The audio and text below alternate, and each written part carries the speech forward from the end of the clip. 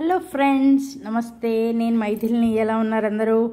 బాగున్నారా? ఈరోజు నేను కలెక్ట్ చేసుకొచ్చినటువంటి పత్రాలండి. దేవుడికి ఏమేమి పెట్టచ్చు మనకి దొరికిన వాటితోటే అని చెప్పని ఆలోచించి మా చుట్టుపక్కల ఉన్నటువంటి ప్రాంతాల్లో అంటే మా అపార్ట్మెంట్ చుట్టూరా ఉన్నటువంటి ప్రాంతాల్లో మీకు కొన్ని పత్రాలు చూపించాలనుకుంటున్నానండి. నాకు దొరికినవి.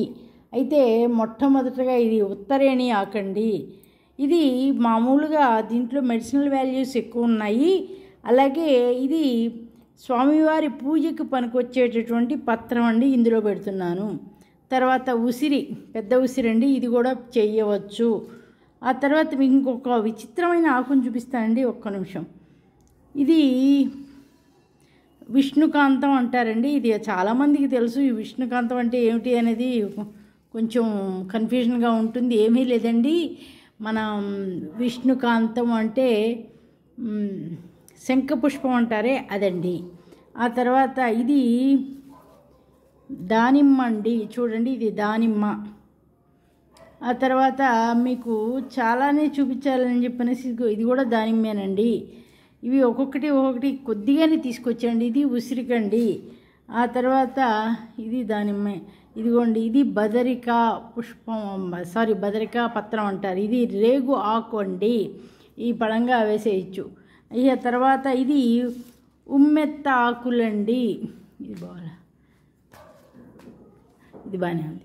ఇది ఉమ్మెత్తాకండి ఇది కూడా స్వామివారి పూజకు పనికొస్తుంది. ఇవి మెడిసినల్ వాల్యూస్ ఉన్నాయి. వీటి గురించి పూర్తి డీటెయిల్డ్ ఇన్ఫర్మేషన్ తెలుసుకున్న తర్వాత మాత్రమే వాడుకోవాలండి. ఎలా పడితే అలా వాడకూడదు. ఇది కూడా ఉసిరేనండి.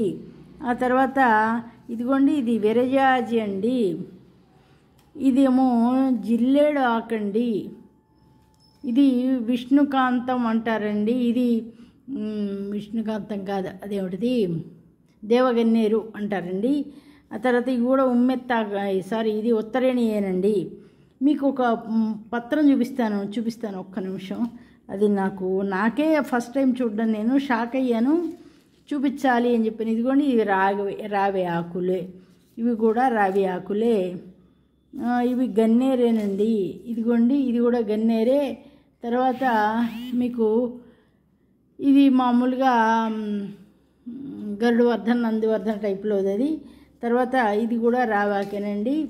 మీకు చూపించాలి ఇవన్నీ అని అనుకున్నాను. అందుకని ఇంకొకటి మెయిన్ మీకు చూపించాలి. ఇదేమిటో తెలుసా అండి? గుర్తుపట్టారా మీరు?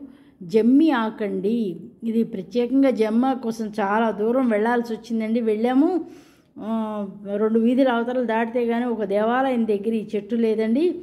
పైకి ఎక్కడో ఉంది. అందుకని చెప్పిన దాన్ని కర్ర పెట్టి కొట్టి పీకి లాగి అన్నట్టుగా ఏదో కొద్దిగా మనకి దొరికింది. ఇది ఈశ్వర అనుగ్రహమే. తర్వాత ఇది కూడా తులసేనండి. పెట్టచ్చు తులసి కూడా పెట్టచ్చు. ఇదిగోండి ఇది జిల్లేడు ఆకులేనండి.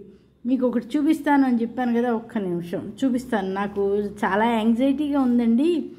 ఇదిగోండి ఇది కూడా విరజాజి అంటారు కదండి అదండి. ఇది మామూలుగా నిత్య పూజకి వాడుకోవడానికి కాకుండా ప్రత్యేకంగా ఈ ఒక్కరోజు మాత్రమే ఈ తులసిని విఘ్నేశ్వరుడు పూజకు ఉపయోగించవచ్చు అని పెద్దలు చెప్పారండి. నా మాట కాదు. కాబట్టి దాన్ని వాడుకోవచ్చు అనమాట ఈ అసలైంది మీకు చూపించాలని ఇందాక నుంచి యాంగ్జైటీ ఫీల్ అవుతుందని. ఇదేమిటో తెలుసా అండి? లవంగ తులసి అంటారంటండి. ఇది లవంగ తులసి అని ఎలా అంటారు అని అంటే ఈ మీరు కొమ్మ ఈ ఆకును తుంపి వాసన చూసినట్లయితే లవంగం వాసన వస్తుందండి. నిజంగానే కానీ ఇది జలుబు దగ్గులకి చాలా బాగా పనిచేస్తుందండి. ఇది మీకు ఒక రోజున ప్లాంట్ చూపిస్తాను. అటు పక్కకి వెళ్ళి మరి ప్రత్యేకంగా ఇది కూడాను లవంగ తులసేనండి మీకు చూపించాలి. ఇవి నాకు తొలగినవి నేను తీసుకొచ్చి పూజకు వాడుతున్నానండి. ఓకే? ఇవన్నీ మీకు చూపించాలి అని అనుకున్నాను. అందుకని చెప్పి ప్రత్యేకంగా చేయడం అది. ఇవేమో మామూలుగా దాన్ని ఏమంటారు? తమలపాకులు అండి ఇవేనండి. నేను తీసుకొచ్చినవి సింపుల్గా. ఇదిగోండి ఇది తులసి మామూలు తులసి. ఇందాక లవంగ తులసి చూపించాను మామూలు తులసి చూపించాను. తర్వాత ఒక పది రకాల దాకా వచ్చి ఇక కింద మామిడి చెట్టు రేపు ఉదయాన్నే తీసుకుంటానండి. మామిడి చెట్టు తర్వాత ఏమో అదేంటి దుర్వాయుగం అంటే గడ్డిపోచ గడ్డి పోచ ఇవన్నీ కూడా రేపు తీసుకుంటానండి. అంటే రేపు ఉదయాన్నే పరగడ స్నానం చేసిన వెంటనే వెళ్ళి తెచ్చుకుంటే ఫ్రెష్గా ఉంటుందండి. వర్షం పడి బాగానే పడింది పొద్దున.